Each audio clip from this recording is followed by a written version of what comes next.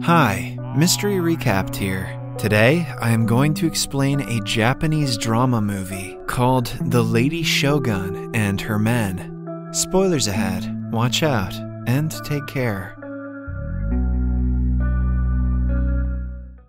The premise of the movie is set in the era of a fictional Japanese dynasty called the Shotoku, a dangerous epidemic named red face pox spreads around the country. The disease only affects men, and 8 out of 10 who fall victim to the plague die. With time, the population of men decreases at a frightening rate. By the end of the plague, the male population is a quarter of the female population. This causes a drastic change in the hierarchical structure of society. The political and economic positions that men held earlier are replaced by women. Moreover, the laborers responsible to earn an income for their families are also women. Men are considered delicate luxuries who deserve to be protected and nourished. Their only job is to look beautiful and sell seeds to the women who want children. Being married to a man has become the greatest of luxuries. Since they are so rare, only the daughters of the rich can afford to marry. Several men go into prostitution to take care of themselves and earn money. In such a society lives a middle class family named the Mizuno family. They bear a 19 year old son, Unoshin. Unlike most men who are only interested in makeup and dresses, Unoshin is a samurai. He has trained his entire life and is a great warrior. Although their family suffers financially, Unoshin's mother never allows him to go into prostitution. He is thankful for her thoughtfulness and loves her dearly. But occasionally, he spends the night with older women who are desperate for a baby. He does so as a favor to those who have lost their loved ones to the red face pox. Out of the kindness of his heart, he refrains from accepting their money as well. The Mizuno house is always filled with women asking for Unoshin's hand in marriage. He is not just a great warrior, but is astonishingly beautiful and very kind. However, he rejects everyone's proposal, knowing that they only want him for his outer beauty. Unoshin is also in love with his childhood friend, Onobu, they have always liked each other, but never had the guts to confess because Onobu belongs to a wealthy family. Because of the gap between their social and financial status, Unoshin tries to keep his distance from her, but it never works. When their family's financial condition gets worse, Unoshin decides to lend himself to an uku, it is the intersection of a palace where the queen's male suitors live. They are trained to be beautiful so they can one day attract the attention of the queen, also known as Lady Shogun. The members of the Uku are paid a hefty sum for their services, and if the queen likes them enough, they even get additional privileges. However, there are altogether 3,000 men competing in the Uku, much like how women are traditionally portrayed, the men are dramatic and are always competing about materialistic things. Unoshin tells Onobu about his plan to join the Uku. Say that 10 times fast. She begs him to reconsider, but Unoshin has already made his decision. He plants a goodbye kiss on her lips and walks away. In the following scene, Unoshin joins the Uku. On his first day, a teacher shows him around the place. He is told that he belongs to the lowest rank of men, who have to clean up after the higher ranking men. He eventually will get promoted if his services are satisfactory. The current Lady Shogun is a seven year old girl, so the men have a long wait before they actually compete against each other for her attention. While in the orientation, the teacher and Unoshin come across the most powerful man of the Uku, Fujinami. Only one person can be in the right ranking of men, which is occupied by him.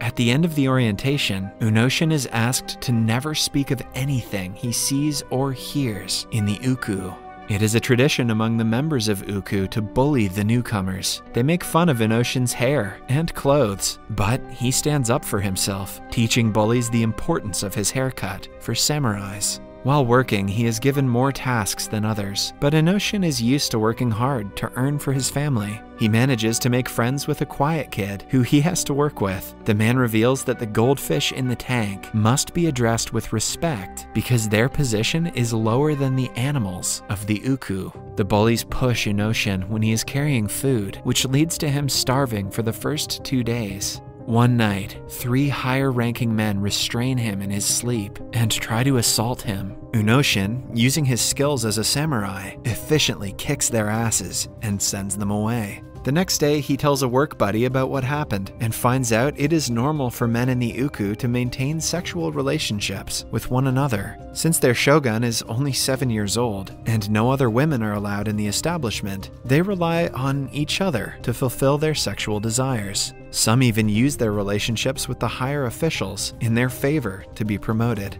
Unoshin is shocked by the revelation because women would kill to have a male suitor outside the palace, while men are wasting their seed on each other in here. He thinks the entire concept of Uku is unnecessary, but knows that his thought on the system doesn't matter. That afternoon, Unoshin sees some men fighting in the dojo next door. He uses his broom to practice his moves and is spotted by the highest ranking man, Fujinami. The man praises Unoshin's technique and asks him to join the others in the dojo. Even though the men in Unoshin's position are not allowed inside, Fujinami makes an exception for him. He is asked to fight the most talented fighter in the dojo, Tsuruoka. The others laugh at the decision, thinking that Unoshin can never beat someone as talented as Tsuruoka. However, they are left stunned when he doesn't take much time before proving his worth. Once Tsuruoka loses, he shows his arrogance and belittles Unoshin for having an unworthy talent, because all that matters for men is to be pretty and have good manners.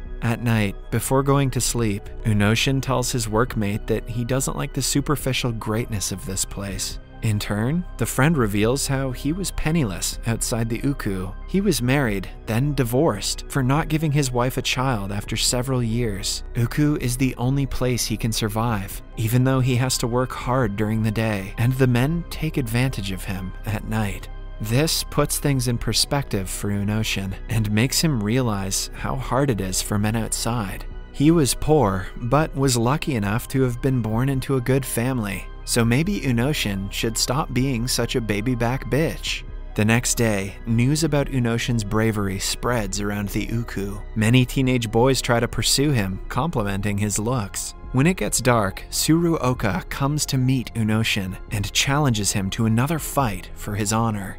Unoshin doesn't want to compete against him, but has to give in to his orders. The fight starts, and Tsuruoka is beaten this time as well. The loss is so humiliating for him that he commits the unthinkable. While he struggles on the ground, Unoshin shows mercy and kills him with his sword. The next day, he is asked what happened at night. As he was instructed, he denies meeting Tsuruoka altogether. Satisfied by the answer, the higher official lets him go.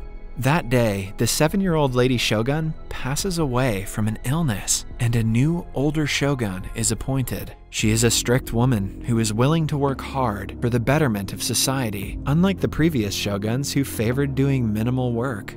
On her first day of duty, she fires a woman for suggesting she wear fancier clothing. She doesn't want the workers of the palace to be bathed in extravagant jewelry while the country's economy is collapsing. Everyone else keeps low in front of her after that. The next day, she goes to the city disguised as a commoner. She comes across the harsh way the people live their lives. Most men are prostitutes who are owned by a brothel that treats them as commodities. People work for the entire day just to eat a single loaf of bread at night. Lady Shogun notices a kid running away from the brothel's owner after getting beaten and helps him by handing him an expensive piece of cloth. Nice, Lady Shogun. That kid will probably be murdered for that.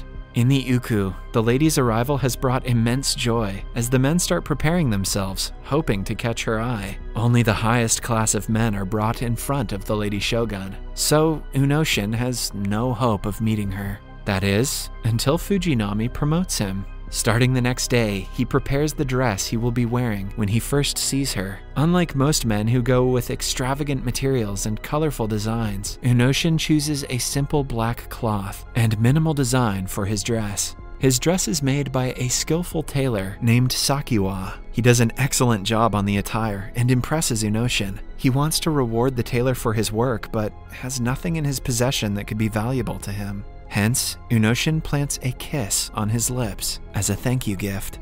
With time, the two become close friends and share several intimate moments together. On the day of the ceremony, everyone laughs at his horrendous choice. He is told to keep his head low in front of Lady Shogun. If she asks you what your name is, she would have chosen you as a suitor.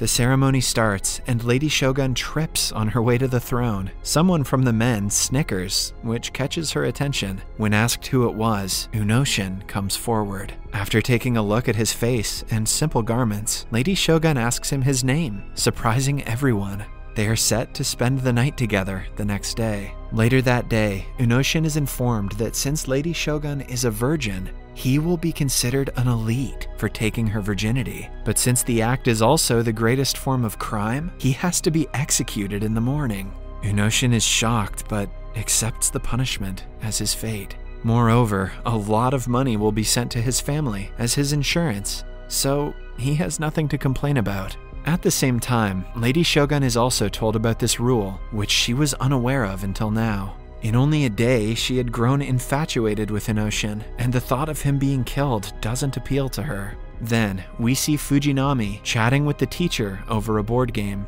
It turns out that they saw Unoshin as a threat and deliberately made him appeal in front of Lady Shogun to get rid of him. After his death, the teacher plans to woo Lady Shogun and be the father to the next Shogun. Before going into the intimacy room, all Unoshin can think of is his childhood love, Onobu. He imagines confessing his feelings to her and is devastated that they could never be together. After that, he is made ready with makeup and perfume and finally meets the lady in her room. She starts a conversation by asking him his full name and reveals that her given name is Nobu, which sounds very similar to Onobu. Unoshin cannot help but get emotional at the mention of his lover's name. With tearful eyes, he asks for permission to call the lady by her name for the night. Unoshin is grateful that he at least gets to spend the last night of his life with someone that has his lover's name. Following that, the two enjoy a night of passion and sorrow. The next morning, Unoshin wakes up and is told that he did his job well then he is kneeled in front of the officials and executed with a katana to his neck. We see his work friend and Sakiwa crying, mourning his death. His family receives the money and a letter of condolence, but is told that he died of a disease. The scene changes to a few months later. Onobu has not forgotten her only love. She cries in his memory every day and visits his grave frequently. On one such visit, she is left speechless because Unoshin stands in front of her, alive and well. He reveals that Lady Shogun was kind enough to spare his life the day he was supposed to be executed. Who did she kill instead? She never supported the harsh ways of the palace and sent a man in secret to help him, making it seem like the execution was successful. Onobu embraces him in a hug, promising to never leave his side. In the last scene, we see Lady Shogun ordering all the men from Uku to go out and live their lives freely. She also provides them with starting funds to make their lives easier. Their departure will ensure more childbirth and less burden on the royal treasure. Subscribe for more videos like this, turn on notifications, and leave a like to help the channel out. Thank you for watching.